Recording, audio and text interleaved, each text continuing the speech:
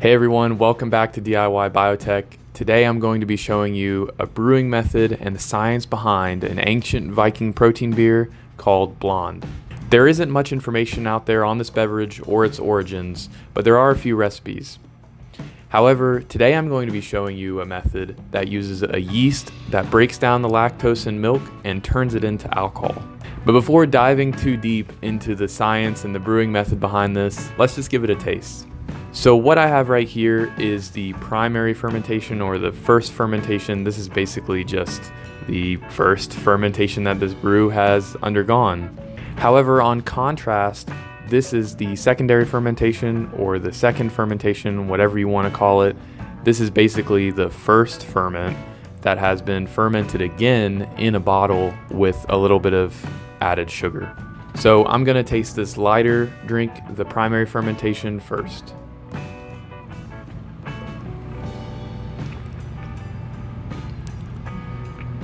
There's a there's a tiny bit of carbonation. It's really not that strongly flavored. It has a little bit of like a like a, a very light like Mountain Dew or Sprite, but very light. It smells a, a, tiny bit salty and savory. It's it's very mild. It's not offensive at all. There's no yeasty smell. There's no alcoholic smell. It doesn't smell sour or anything like that. Yeah, it, it really tastes close to sort of like a flat soda almost. I really wish uh, I'd let this go a little bit longer. It would have been nice with a little bit more carbonation, but how it is now is really nice. It, it's mildly sweet. It's nothing that you you drink it and you say, "Oh, I can only have a couple of sips of this." This is it's it's it's mild, non-offensive. Uh, there's no strong smells or strong off flavors. It's it's it's pleasant. So let's try this secondary ferment. It's a little bit darker. Uh, of course, it's from a different brew from the primary ferment, uh, so it, it did go through slightly different conditions, which may have affected the outcome. It smells a little uh, saltier, a little bit more savory. This one is much sweeter. So this tastes pretty similar to the primary fermentation. It's definitely more sweet, definitely a little bit more savory, but it also is a little bit less sour, a little bit less towards the soda end of the spectrum, I would say. Uh, both of these, I think, could go a little bit longer, have some more carbonation. I have experienced sufficient carbonation in brewing this before, so I know it's possible. Uh, these are just a little bit flat, but you know, there's always room for improvement. So this drink is interesting not only because of its pretty unique taste, but also because of its nutritional content. So this is a product made from whey, which is a milk product, and milk products are pretty high in protein. This contains about 30 to 50 grams per liter of protein, so one full glass of this probably has about 10 to 20 grams of protein. That's almost as good as some protein shakes, which is, is really interesting. Uh, it has a little bit of sugar in it. What I found is about 10 to 20 grams per liter as well of sugar in this. I was surprised to find that this fermentation actually yielded about 2% alcohol, which I didn't expect because I didn't think there was any alcoholic fermentation pathways in this yeast, but apparently there is. 2% alcohol isn't crazy, it isn't going to make you go do crazy things, but it's it's there and could definitely be increased with different brew methods. So I find that to be really interesting. The last sort of nutritional tidbit that I think is interesting is lactose. So, lactose is a dairy sugar. The majority of the population is lactose intolerant, including myself, but I feel comfortable drinking this. And the reason is that there's an organism called Kluyveromyces lactis that I use to brew this drink. Kluyveromyces lactis was isolated from the cheese making industry and has been shown to produce very large amounts of an enzyme called lactase, which actually breaks down the lactose sugar. This organism produces so much lactase, in fact, that it's actually used in a lot of those lactase pills that you can buy over the counter. This organism is decently well studied in the scientific field, and it's also decently well studied in the food sciencey field. I found a really good paper reviewing the safety of this organism if you're concerned about that. I did buy this organism from a cheese making website, so it was intended to be slathered on cheese, so I would hope it was safe. Additionally, in the paper, they said that the FDA deemed this organism as generally recognized as safe or GRAS. So if the FDA says it's safe, then I'm gonna brew some crazy drink out of it and drink it and not be too concerned. So after a preliminary fermentation just to see what would happen when I added this to milk, I did a proper study where I actually measured the glucose concentration and the alcohol concentration in the brew every day about over a course of about six days. The data that I generated is really useful and about what I expected, which is really cool. So here's the graph that I made.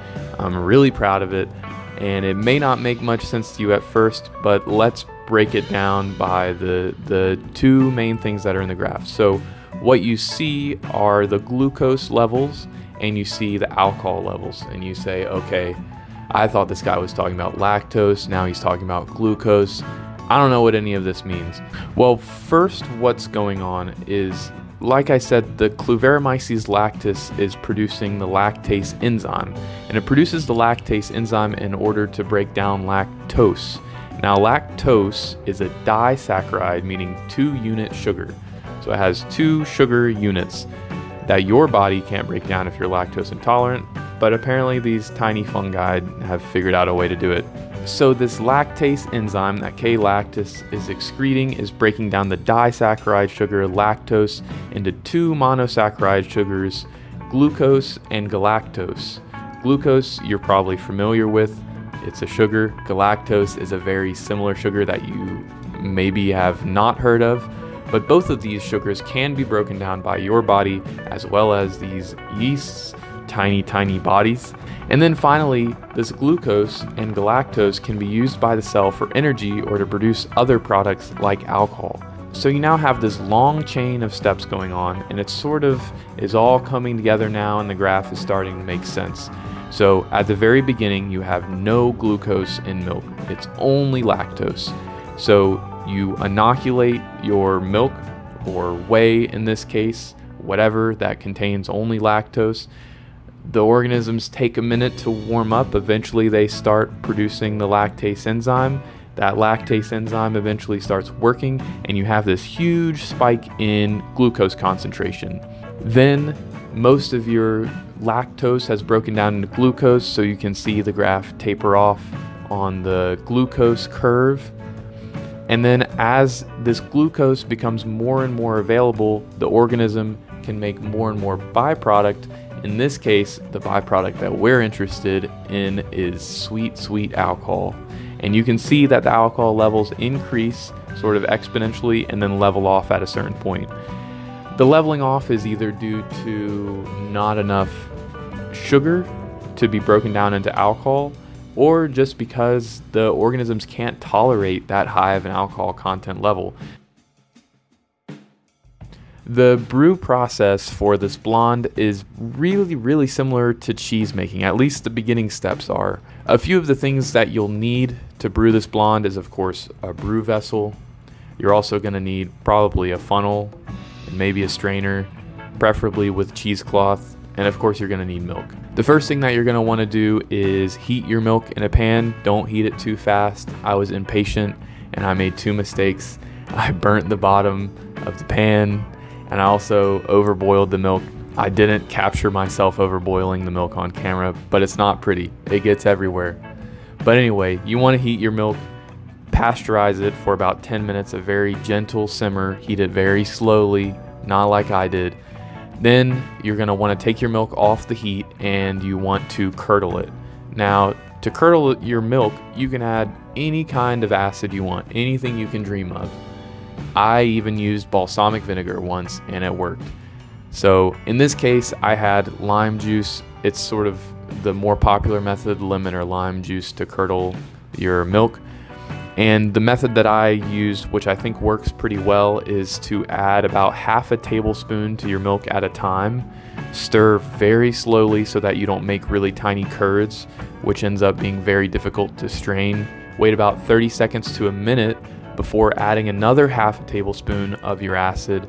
Stir very slowly wait again, add some more. I ended up adding about two tablespoons of acid before my milk was sufficiently curdled. Next, you want to isolate your whey, and the easiest way to do that is just to strain it. I used this fine mesh strainer, but I think cheesecloth would have been better. I just didn't have any on hand. It would have caught more of the, the curd particles. Uh, whatever way you find to strain it, that works for you. Whatever boats your float, just go with that. You just want to isolate your whey.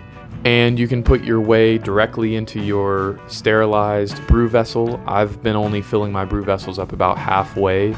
I'm sure changing this would potentially change the brewing characteristics. Then, in order to not completely kill your yeast immediately, you want to let your brew vessel cool down to about body temperature, which is about 37 degrees C.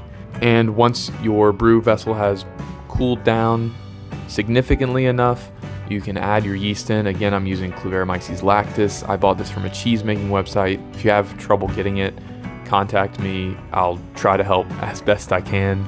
And then what I did is I threw it in my freezer incubator, which I made in another video if you want to see that if you're if you're interested in that.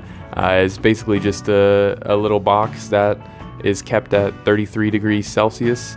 I kept the brew in there for about four days. At two days, I made sure to check on it and crack it open to make sure it wasn't going to explode or anything like that. And then finally on the fourth day, I threw it in the fridge for a few hours to let it cool down. For the secondary fermentation, the actual fermentation process was very, very similar.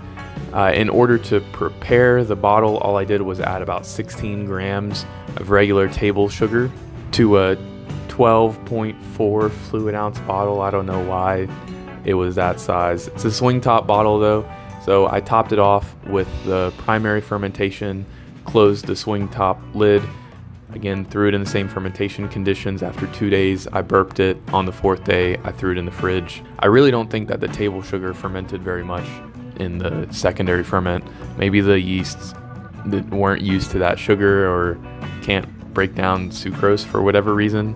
So anyway, I just thought this was a really cool project. I thought it was really cool that this non-conventional yeast can be used to brew different kinds of beer slash health drinks. I don't really know what this is. There are a million different things you could do to improve this brew.